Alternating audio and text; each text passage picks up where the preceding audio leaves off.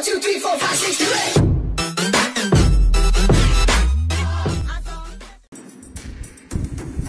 So, first ban coming from the blue side, from the Wheat and Friends team.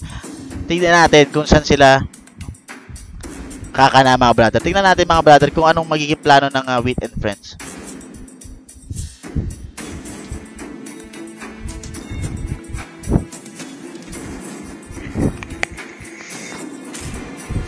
I guess wala naman masyadong threat. Claude pwede nyo i-ban kung ayaw nyo mag-Claude. We still have Ling ah, mga brother. Yan. They went to, for the ban Claude kasi pinagbaban sila ng core dahil ah, I'm guessing dun sila sa mga hero na comfortable pick sila. So, let's say Kimi comfortable pick, ah, Bruno comfortable pick, then binaban nila yung mga pwedeng counter sa mga core nila mga brother. So, they went for the ban Claude and I'm guessing ban Ling din tulad ng kaninang ginawa nilang ban. Now, they need to ban the Uranus, mga brother. They need to ban the Uranus. Kasi pag hindi nila binan ng Uranus, masasaktan talaga sila. Lalo sa performance at galaw ni sa galaw ni brother uh, Jobs.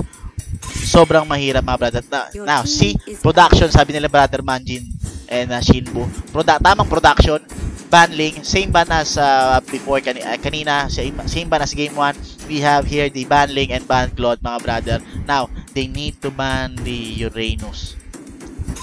They went for the Popoling Kupal. Well, sa bagay, it's either Popoling Kupal or the Uranus. Pero ito na, are they going for the Uranus mga brother? Tingnan natin ha. Kasi Uranus ang uh, nagdadala sa kanila actually sa later rounds. They still, kasi yan ang sinasabi ko, they need to respect ban. They need, mga brother, kapag natalo kayo sa isang bagay na alam nyo siya naging dahilan, kailangan paganayan nyo yung respect ban. Kasi pag wala kayong respect ban, mga brother, it might bite you, bite you in the ass later on. Yun ang magiging problema dyan, mga brother. So they went for the pick of Kaja mga brother kasi ito ang naging problema nila. So ang ginawa nila trade. So they went for the Kaja pick. Then we have Tamos. Pwede rin count. Ito magandang counter din naman to sa Uranus. Pero depende kasi sa galawan niya mga brother. Maganda gumalaw si brother Jobs at maganda siya gumamit ng Uranus. Now they went for the Esmeralda. Sustain lanes coming from the side of the Wheat and Friends. Now we still have course open. Mga brother, we have Karen Bruno. We still have tanks open. We have the Grak. We have the Kufra. Kufra pick, pwede comfort pick ng uh, blue side dyan ng Wheat and Friends. As you can see sa later, as a past game sila mga brother. They are more on Kufra. Then support, pwede rin. We still have support opens mga brother. Meron din sila si Lina pick kanina, di ba? So tingnan natin kung anong kaaraw. So they went for the Kufra mga brother. Comfort pick pa rin uh, for the blue side. They went for the Kufra pick. Still, which ang gagamit ng Kufra. Now we have here for the red side, tingnan natin, we still have uh, we still have support. Meron pa tayong support na open and core. So pwede pa silang pumili doon is either Kari, Bruno, Kimi, or for the support, we have Selena, Farsa, Sicilion, pwede rin naman mga brother. Uh, tapos, ano pa ba? Valier, we still have Valier. Or magtatak na sila na Hylos. Depende kung paano nila isa-set up yan mga brother. They went for the Hylos mga brother. Now we still have uh, Valier uh, to counter uh, to counter a high loss. So open pang open pang Valier. So now they they can ban they can ban here mga brother a core. They can ban Bruno then they can get the carry or ban Bruno get the Kimi. Kasi pwede yung Kimi laban sa carry.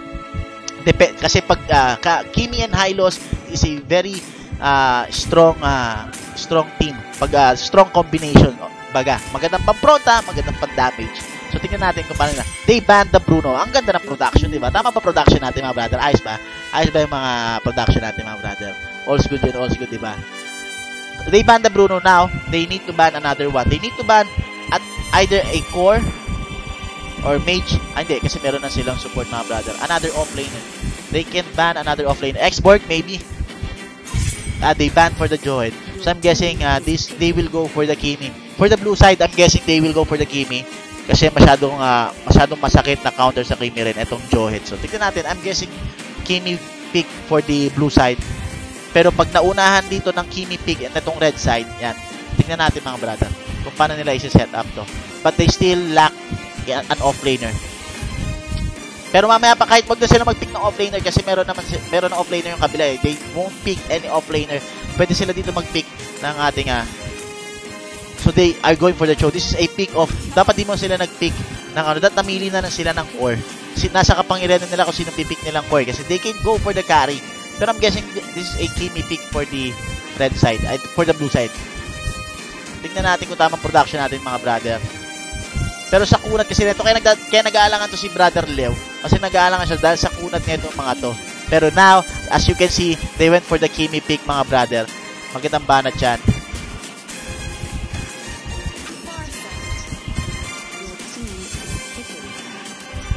Now, they will still go for the Hanzo. Oh, tingnan natin mga brother ha. They will still go for the Hanzo fa Hanzo funnel. Tingnan natin ha kung aaro ka. Tingnan natin kung aaro. Kasi mga brother, uh, ang ang crowd control lang dito. Oh, Lance. Oh, ito first time ko makikita. Please give me Lance. Nice one. Tingnan natin. Maganda yung nagiging diverse pick at saka out of the box uh, picking set ng ating ano, uh, ating uh, red side. So we have for the blue side, we have a sustain uh, side lanes coming from uh, Wheat and Friends. Then we have a crowd control from the Kufra. But in terms of uh, sustain plus the uh, pick off, we have here maganda ang uh, setup dito ng ating Kaja.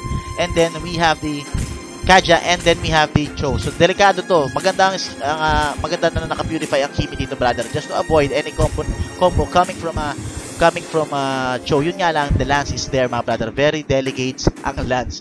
Uh, from the blue side, we have Percy for the uh, Farsa, Koyadon for the Esmeralda, Jobs for the Uranus again, Witch for the Kufra, Leo for the Kimi. And uh, for the side of the red side, for the uh, Pagmalakas Kami Agad, Sticky Head for the Hylos, Blind Spot 114 for the Kaja, Billy for the Lancelot, Carl for the Cho, and then Oma for the Thamus, mga brother. Tignan natin, aarok ba? Aarok ba? Aarok ba yung lineup? Pero I'm guessing Lance is a good pick. Kaya niyang, kaya niyang uh, one hit combo tong uh, Kimi mga brother. So, tanggalin ko na mukha ko dito mga brother. Let's move forward with the, to the land of Dawn mga brother. Here we fucking go! Game 2 is on the way mga brother. Eto na. Sa rotation pa lang mga brother. Blue ang unang i-take dito ng, uh, ng uh, Kimi natin. Just to make sure meron siyang mana. Same shit will go for the uh, Lancelot. Ang ganda nga naman ng plano. Tama pa. Ano lang sila, uh, trade lang din, passive laning. Tamang clear lang ditong mid lane si Brother Witch. Post daw mga brother. Nagpa-post dito ang uh, team. Maagang post, okay yan. Oy, shout say brother Angelo Magno, what's up brother? Taka naman, hindi ko na ano eh. BO12 ba? BO12 ba to? BO3 lang brother, delikado yan. Teka lang, chat ko lang sila mga brother.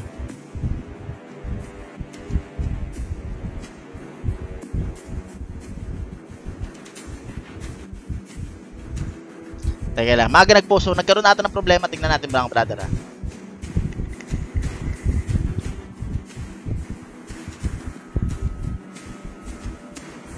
Sige lang brother, 5 minutes. You, still have 5 minutes mga brother yan. Pause, pause natin yan. Dapat yan kanina kay sa Hanso eh. Ah, uh, akala nila kaya niya, kaya naman yung Hanzo. It's more on the rotation na naging problema for the side of the for the side of pag malakas kami agad.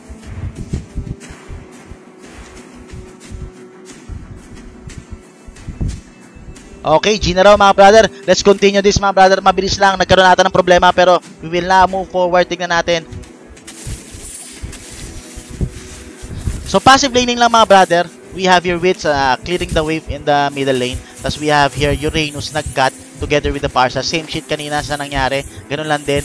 Nag-alalay lang din sa lane ng ating uh, Farsa para hindi siya basa-basa mag ma ma-burst nitong uh, ma-burst ang Uranus. So they went for both Wanderers ata. Isa na, oh, ang ganda ng pasok ng uh, bouncing ball nga pa ng Cobra. Meron pa atang flicker, flicker out na hindi na nakapag-flicker out. Ano naman pa naman, this one is a trade.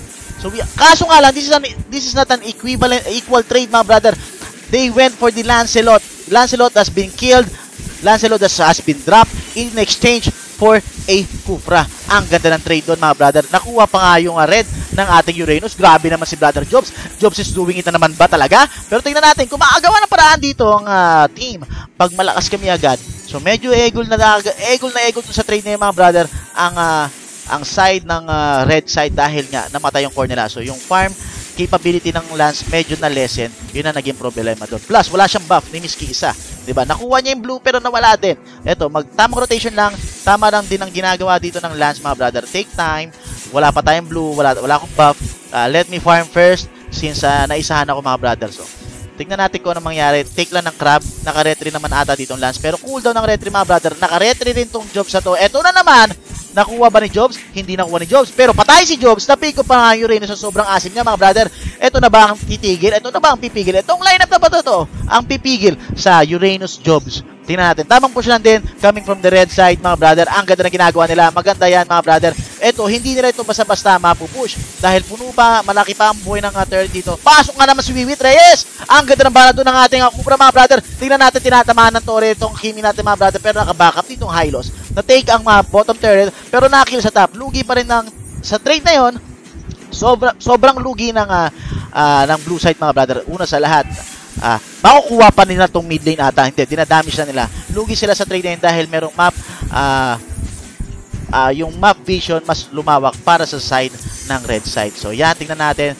Tingnan natin kung paano gagawin ni Jobs dito mga brother. Babantayan niya yung blue para kay Lance. Kasi Lance will now go to the blue side. Tingnan natin kung paano gagawin. Tamang uh, ambalan din.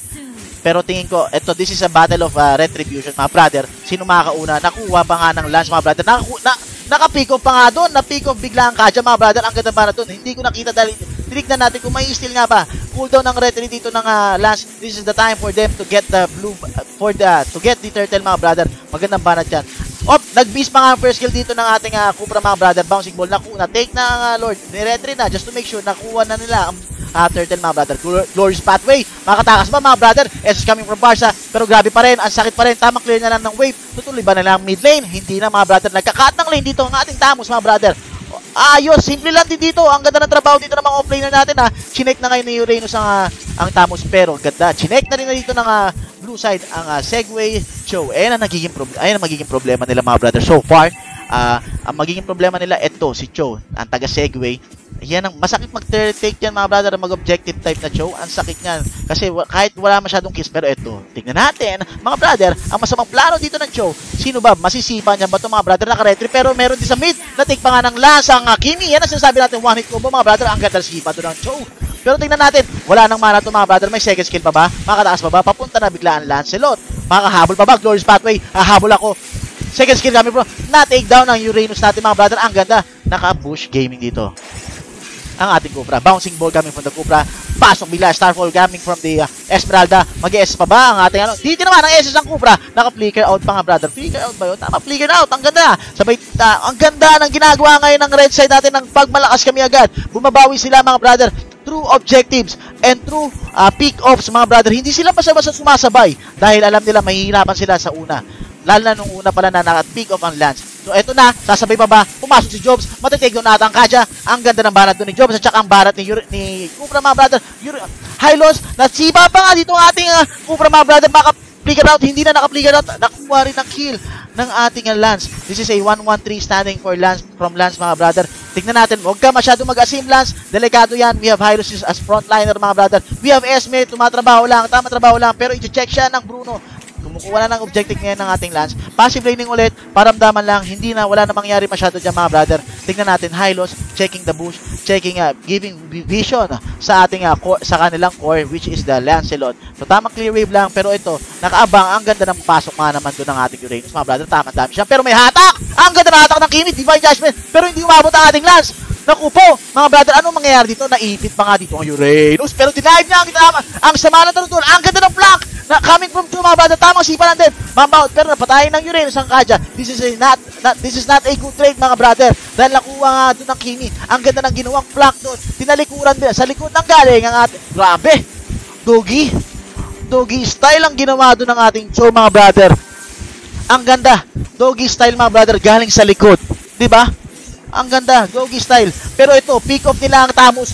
Ang ganda ng uh, ang ganda ng uh, first kill doon ng uh, ating uh, Cobra mga brother. Plus the essence of uh, essence coming from Farsa. Meron tayo ditong Lance. Makikita siya diyan mga brother. Ito na, what will you do mga brother? Pinasok pa nga, may may divine judgment pa ata to mga brother. Wala pa lang divine judgment. Essence coming from uh, Lance. Nakatakas pa nga Glorious Pathway pero nahatak na nga. Yan ang sinasabi natin. Na-pick off na ang ating Uranus. Kaya nang i-burst. Pero nandito, nag-1v1 with the Great One. Grabe! 1v1 with the Great One to. Si Esme versus Cho. Na-take down ng Cho. Ang ganda na pasok doon ng ating uh, Cobra mga brother. Nakabawi pa nga. Namatay ang core ng ating uh, red side. Napatay ang core. Napatay ang lance ng pagmalakas. Kami agad. Delikado ang Hylos dito. Mag-isa lang. Tinatry niya i-def lang mga brother. Bouncing ball. Tingnan natin magba-bouncing ball pa nga. Pero paramdaman lang nga. Tang alisin na natin yan dyan. Masyado matagal. Walang mangyari doon. Mangyari, walang mangyari sa dalawa dalawang tank lane mga brother. Dito tayo sa mid lane. Iti-take down nila ang mid third mga brother. Pero ngayon, tumatagilid na. Ngayon, nagtitilt na dahil lamang na gold lead. 300 lang naman mga brother. Lamang sa uh, lamang sa gold ng ating uh, Wheat and Friends versus the pagmalakas kami agad. So tingnan natin mga brother ang ating item. Item check.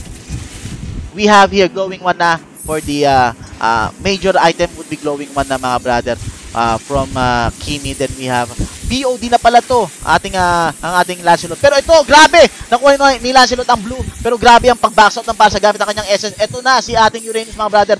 1v1 daw. Hamunin mo ko. Tara tayo ng, dalawa, di ba? Grabe naman yun. FPJ versus Lito Lapid. Naglaban pa nga. Pero na-take pa ni Barca ang ating uh, Tamos mga brother. Pero in, uh, in exchange mga brother, na-take din ng uh, Barca mismo. So that is a revenge trade. Ang ganda ng Barador. Pero masyado malalim. Ipit na ipit dito ang ating uh, Cupra mga brother. Late na dumating ang ating Kimi. Kaya pa punta dito. Kaya pa ni Lance. Hindi na kaya ni Lance mga brother. Pero si Uranus, tamang trabaho lang. Cut din sa top. Tamang trabaho lang mga brother. Tamang backline din dapat yan. Kasi nandito na bigla ang backup.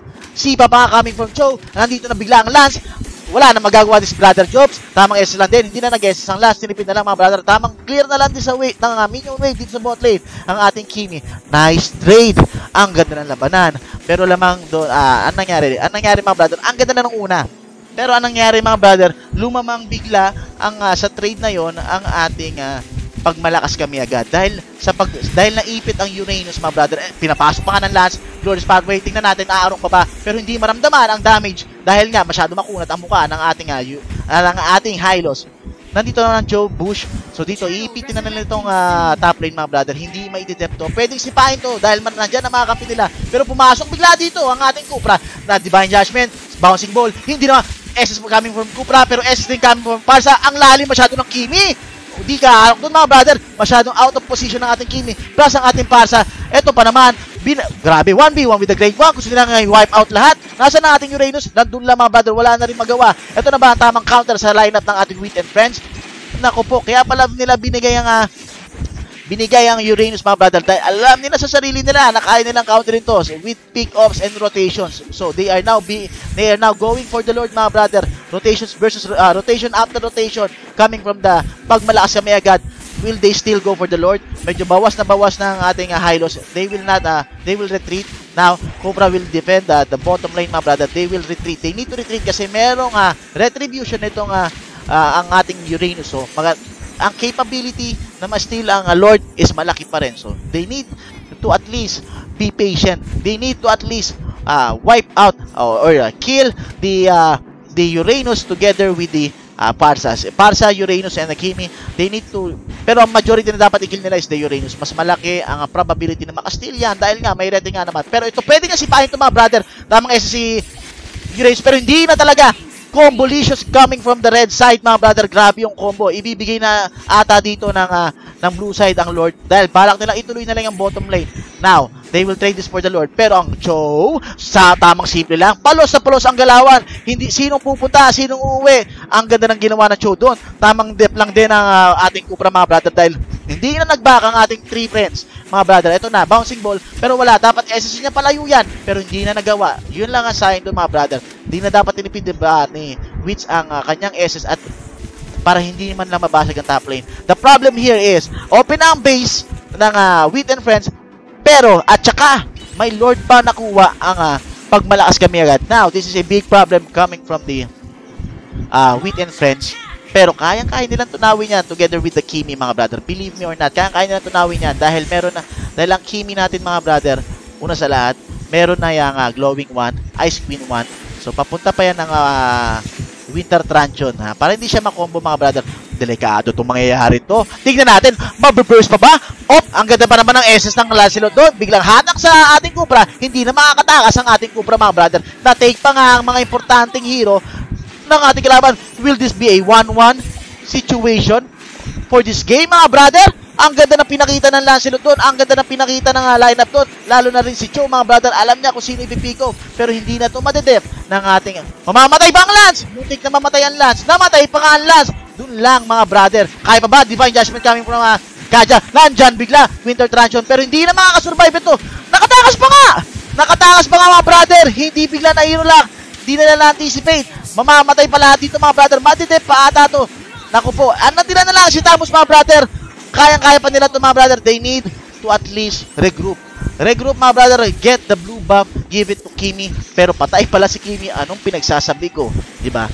They need to regroup. They need to regroup, ah, clear the waves, clear the minion waves. At least ay tulak nila tong mga, mga creeps on both side lanes dahil mahi, magiging mahirap sa kanila kapag malapit masyado yung minion wave na yan sa kanilang base. Magkakaroon sila ng confusion kung sino ang ide-def, at saan ang ide-def, at pagkasama pa at nakipag-clash pa ang ating ah, ang ating uh, red side mga brother. So ang ganda, ganda ng banatan. Tingnan natin kung mangyari. Ang makukuha lang dito ng uh, ng uh, the buff dito ng uh, Lancelot is the red dahil wala nang wala dahil in-invade na ni Uranus ang blue. So yan na mga brother, medyo dapat ingat lang sila dahil may possibility na pag nag-late game, napakasakit din nitong uh, uh, lineup din ng uh, Wit and Friends dahil uh, sa Esmeralda plus the burst damage of Kimi plus naka, pag naka-item pa ang para sa mga brother, believe me, believe me, masyadong masakit yan. Lalo sa, uh, with proper dis- distancing din. Item check natin mga brother. Ito, Warsa with a lollipop. Then meron din siya necklace. Then we have here. Oh, pumasok bigla ang Cobra. Tingnan natin mga brother, aarok ba to? Pero nakabang sa ang Divine Judgment ni Kaja. So they, they will disengage mga brother. Delegado masyado, masyadong malalim. Tingnan natin, masyadong malalim yung mga pangyayari. Huwag na nilang i-engage yan. So now they are being passive. They are just defending the base. They need to go uh, fall back dahil nandun ang tama sa bot lane. So we have here for the Esmeralda, Feather of Heaven, the Talisman, then we have Queen's Wings. Then we have for the core of, uh, for Lancelot mga brother, pakumpleto na yan. Going for the uh, Immortality, I'm guessing. Uh, we have here Blade of Heptasis, Endless Battle, BOD. So we have BOD mga brother. Uh, meron na tayong BOD coming from, yun yung unang item niya, BOD, then Endless Battle, Raptor Machete, then we have Blade of Heptasis, that's going for Immortality, I'm guessing. Then we have here Breastplate for, uh, Breastplate for, uh, with the, uh, Kufra Mab. Pero, grabe, ito na pala, na-burst pa atang Kufra, tama sipa lang coming from Chu, nawala na bigla, hindi na, yun ang nagiging problema ng mga brother ngayon. Kasi kahit, kahit tank, hindi na makapagbasa-basa check ng bush dahil nga kaya na siyang i-pick off ng team ah, pag malakas kami agad. So tingnan natin mga brother, eto na, rambunan na to. Ipit naipit bigla si Uranus. Doors pathway na nakakaslow pa rin mga brother. Tingnan natin, matitake pa rin. Na-take ang Uranus. Nag-dive bigla ang Esmeralda. Kaya pa bang i-dep to mga brother? Tamang poke lang ang ating Kimi mga brother. Hindi nila ito mapupush. Grabe, that is a 2 for non train coming from up na divine judgment pa nga ang ating Kimi. Dapat siya makapag-slide dyan mga brother. Matiti- mapipick off ba? Hindi na pick off. Ang ganda, ang laking tulong. Na-pick off pa nga ng uh, Kimi ang ating Tamus.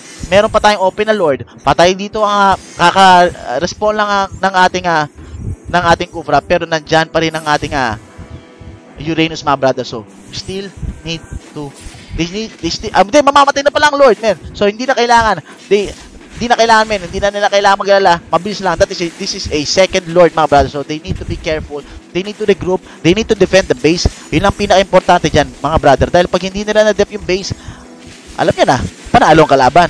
Ganun lang mangyayari doon. So, this is very wild, mga brother. Let's check the item now. Ah, yan, tama. Immortality coming from the lance. Immortality na tatlong, tatlo na naka-immortality uh, for for the team. Pag malakas kami agad. Then, we have for the Kimi, Holy Crystal, uh, Winter Transion.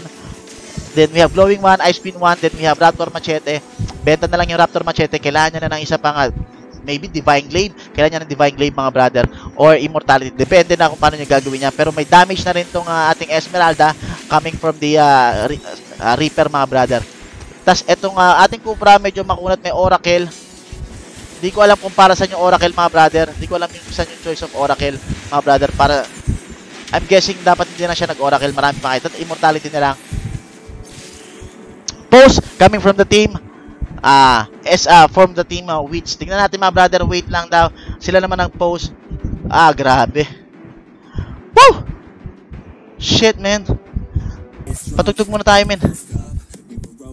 Puta, grabe, men. Post daw. Grabe yung labanan. Teka lang, chat natin sila.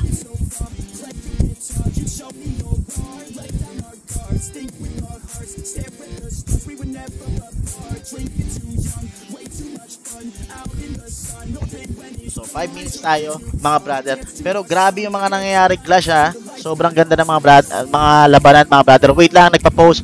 Yan. Grabe naman ganda ng pasok ng Cobra. Oo, ang ganda ng pasok ng Cobra eh. Kaso nga, ang mahirap kasi diyan, mga brother, lalo kung ikaw tank, yung may threat na Game na raw. Oh, game na raw agad. Ang bilis lang mga brother.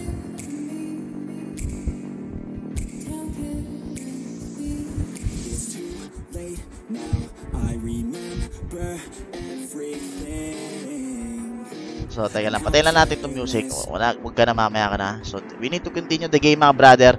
Let's go.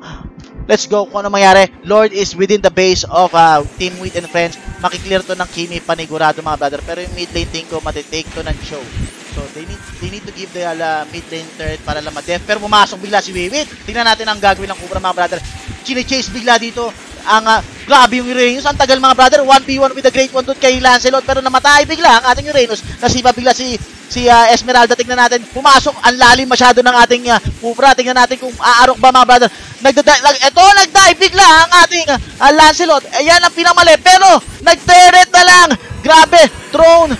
Focus ang ginawa ng uh, pagmalakas kami agad. Holy shit. This is a 1 1-1 series mga brother. Napakaganda ng laban. Grabe yung pinakita nila. Kala ko game 2 lang. Yung pala may game 3 pa. Ayaw nilang bumitaw. Grabe yung 4,000. Ang 4,000 ngayon sa panahon ng Encov mga brother. Ang laki.